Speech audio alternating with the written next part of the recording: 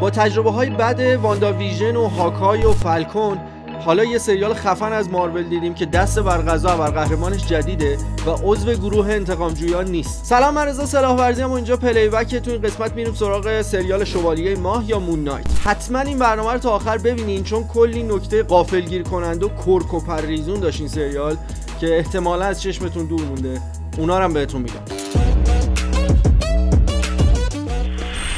قبل شروع فقط اینو بگم که ما برای فیلم دکتر استرنج دو که توی راهه یه کار جدید می‌خوایم بکنیم. اونم اینه که نظر شما رو در مورد فیلم توی برنامه‌ای که قراره براش بسازیم پخش می‌کنیم. کاری که باید بکنین اینه که وقتی فیلم پخش شد و دیدینش در حد سی تا چهل ثانیه نهایت برامون از خودتون ویدیو بگیرین و نظرتون رو بهمون بگین. حالا این نظره می‌تونه کلی باشه در مورد فیلم یا راجع به یه سکانس یا یه بخش خاصی هر جوری که مایلین. و بعدش توی صفحه اینستاگرام برنامه Playback توی direct برامون ویدیو رو ارسال بکنین همه رو می‌بینیم و خوباش رو انتخاب می‌کنیم و توی برنامه پخششون می‌کنم اینم یادتون باشه از روزی که نسخه با کیفیت فیلم پخش بشه فقط دو روز وقت داریم که ویدیوهاتون رو برامون بفرستین و بعدش ما میریم ضبط برنامه این از بریم سراغ Moon Knight Stephen. There he is. Hello, man in the mirror. I know you're scared. A bit, yeah. I know you're confused. You weren't supposed to see any of this. اول اینکه خود شخصیت مونایت یا شوالیه ما توی ابرقهرمانای مارول به شدت کاراکتر جذابیه و به نسبت بقیه ابرقهرمانایی که توی MCU دیدیم توی دنیای سینمایی مارول دیدیم متفاوته و این خودش جذابترش می‌کنه کاراکتر رو برای من. یه ابرقهرمان که دچار بیماری دی آی دی یا اختلال هویتیه و هر کدوم از شخصیت هایی که داره زمین تا آسمون با اون یکی ها فرق می‌کنه. دوم رو دوست دارم با اسکار آیزاک شروع کنم. این بابا رو اولین بار توی برنامه که واسه مینی سریال صحنه هایی از یک ازدواج ساخته بودیم رفتیم سراغش. لینک برنامه رو می‌ذاریم بالا حتما ببینیم. اونم خیلی سریال خوبی بود. تو اون مینی سریال یه بازی تاپ لول ازش دیدم که توجهم خیلی جلب کرد و پیش خودم داشتم می‌گفتم چقدر بازیگر خوبیه طرفم. من نمیشناختمش. تا رسید به مون نایت و این سریال که دیدم دیدم نه.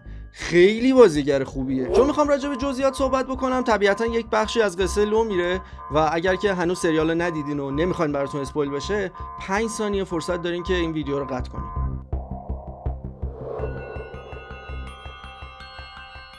ادامه میدم. سه تا شخصیت رو داره بازی می‌کنه توی این سریال و هر کدومشون یک دنیای متفاوتی دارن که واسه هر کدوم بی نهایت جزئیات ساخته. حالت چهره اکت دست لحن صدا لحجه حالت راه رفتن هزار تا جزئیات دیگه. سه تاشون؟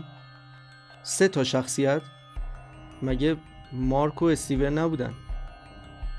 نه. جلوتر توی بخش نشونه ها بهتون میگم که چقدر جزئیات براش کاشته تا متوجه بشی که یه نفر دیگه تو هست. خلاصه که اسکار آیزاک با مون نایت یه کاری کرد که من به شخصه هیچ کس رو به جز این بازیگر نمی‌تونم برای این نقش تصور کنم. این یعنی فوقالعاده به همه نقشاش نزدیک شده و توی همهشون میشه کاملا باورش کرد.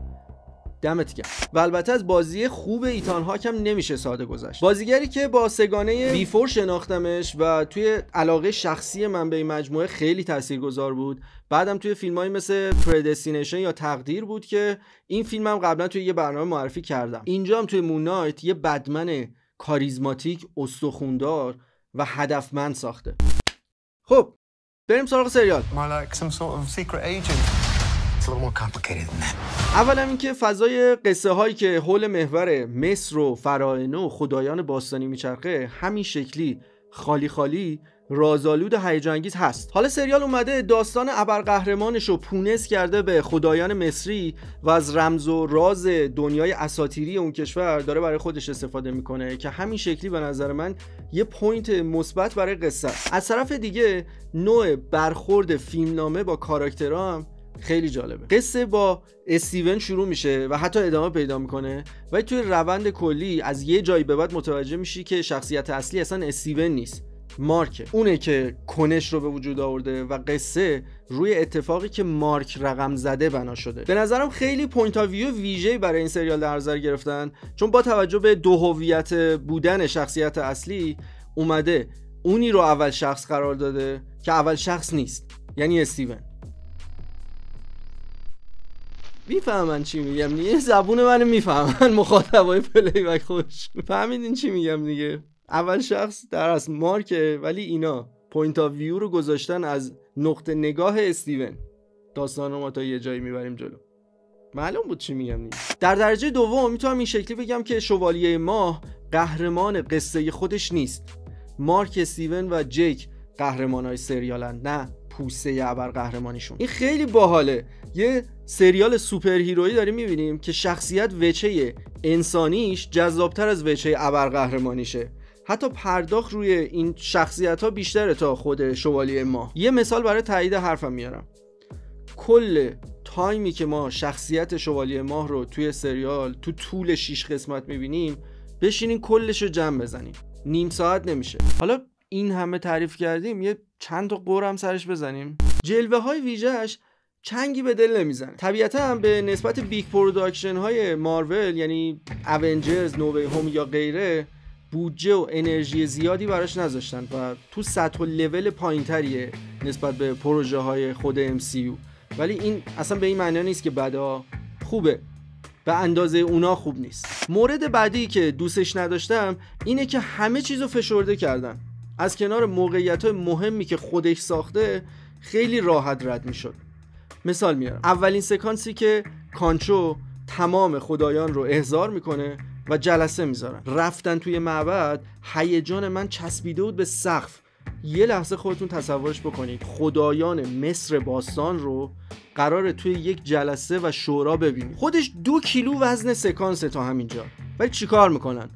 میان خدایان مصر باستان. از پارو می‌پرسن تو قصد داری آموتو آزاد بکنی؟ اینم میگه نه بابا بچه شدین مگه؟ نمی‌کنم من این که. اینا میگن خب گفت نمی‌کنه دیگه. بریم. آقا اصلا می‌دونی کیا رو داری اینقدر ابله و نادون تصویر می‌کنی؟ اینا خدایان عظیم مصرن.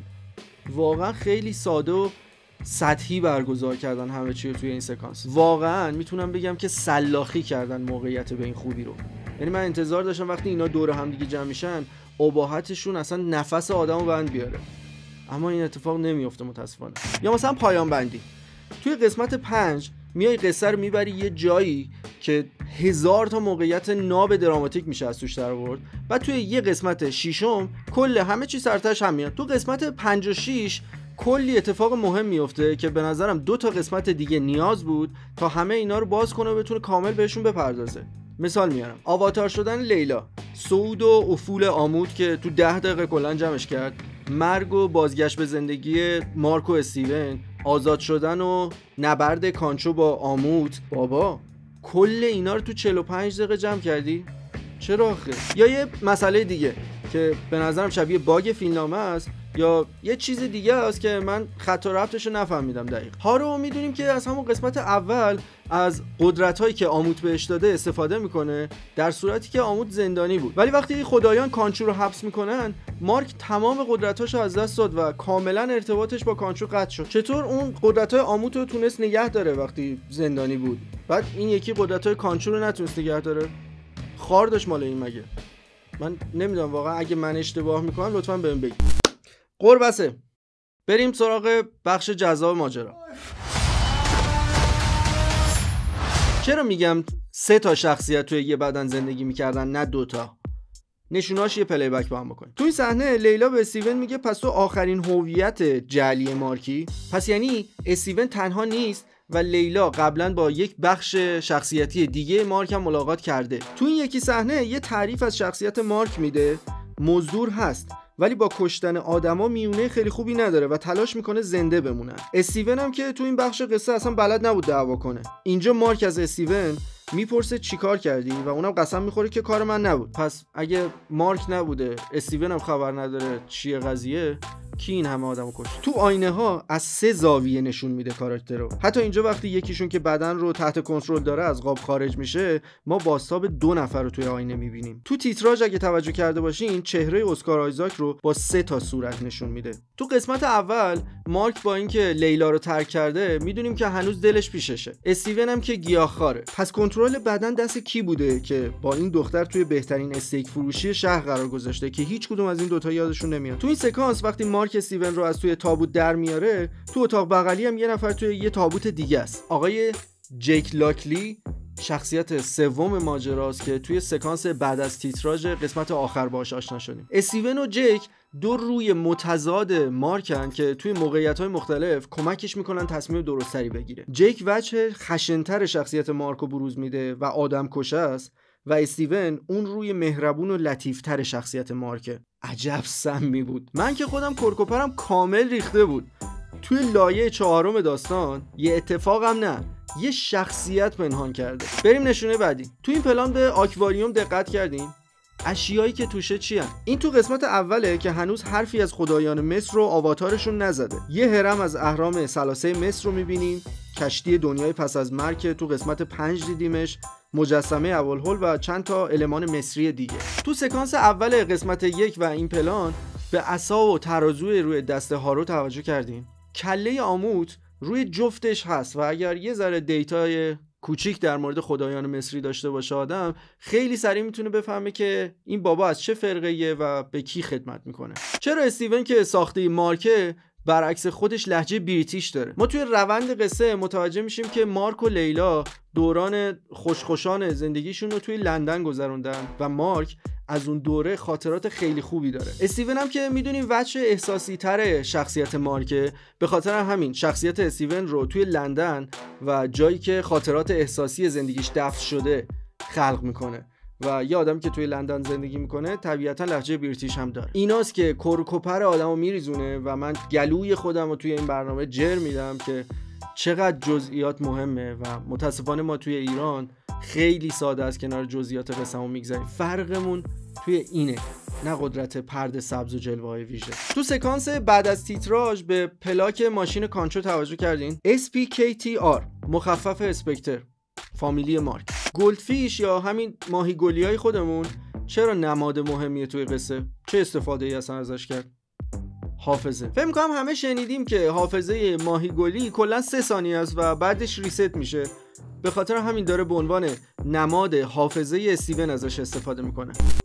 بس دیگه. از این مدل نشونه های پنهان خیلی داره سریال و اگه بخوایم ادامه بدیم تا صبح طول می‌کشه برنامه. و قطعا یه سری نشونه های پنهان هم داره که ارجاب کامیک بوکاست و چون نخوندم کامیک مون نایتو من احتمالا از دستم در رفتن احتمالا که نه قطعا در رفته ولی دوستانم شما هم بهم بگین چه نشونهایی پیدا کردین که توی این برنامه من نگفتم. حال میده دیگه این نشونهایی که پیدا می‌کنین و هم دیگه بگین خیلی میچسبه. یه دونه دیگه بگم. این خیلی باحاله. سریع میگم. این QR code ایی که تو بخشای مختلف سریال هست رو تصویر رو روش stop کنین و با گوشی اسکنش کنین. بهتون از طرف مارول comic book رایگان مون نایت هدیه میده. خلاصه که اینم از مون نایت. دمتون گرم که این برنامه رو تا آخر دیدین. اگر که دوستش داشتین like بکنین لطفا و کانال Playback رو subscribe کنین. اگه پیشنهادی هم دارین برام بنویسین. خیلی مخلصیم.